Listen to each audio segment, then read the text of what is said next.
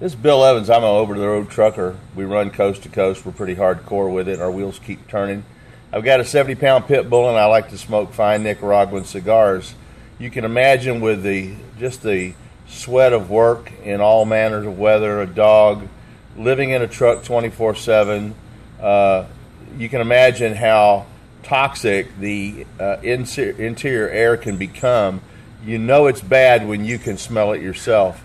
The ozonator, uh, the bioblaster, uh, is basically uses God's own natural technology to kill pathogens, carcinogens, uh, odors, uh, bacteria, uh, spores, mold, fungus that you know, as you can well imagine, grow in all the nooks and crannies in a big trailer truck.